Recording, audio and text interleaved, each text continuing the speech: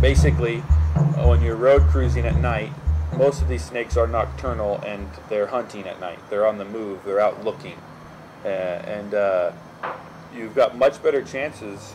Just you can cover so much more area by just driving down the road. So you want to find kind of more rural, out there, not very many cars, roads like that, and you just cruise and hope for the best.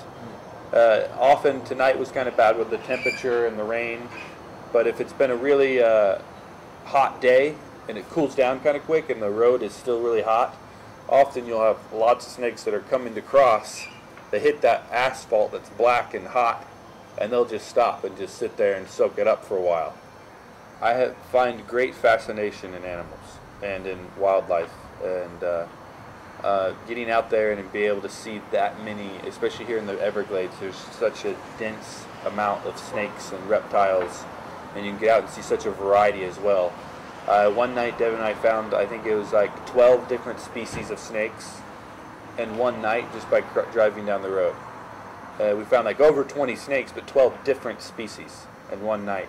And it's there's not very many places you can do that. I'm just calling to call in a python hunt for tonight. Yes, ma'am. It's the Francis Taylor Wildlife Management area.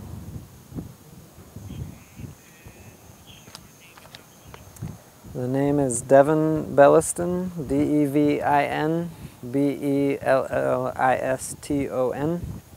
It's a wild snake we just picked up. It's not biting us, not What? trying to kill us.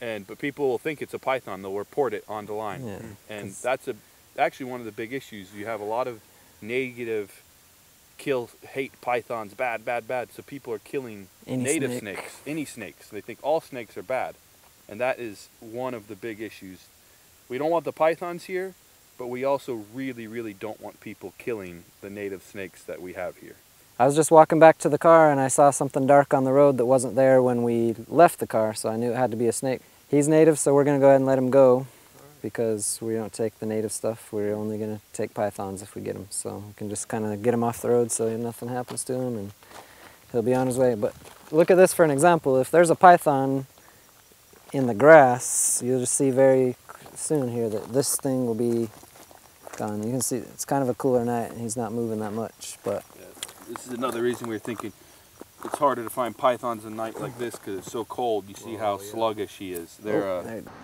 I'm not gonna lie. A lot, a lot of people act like it's more like they're trying to do something for the environment, and that is one of our reasons. We don't uh, want to promote that they put more of these species into the wild, but it is a huge sense of adventure and excitement for us.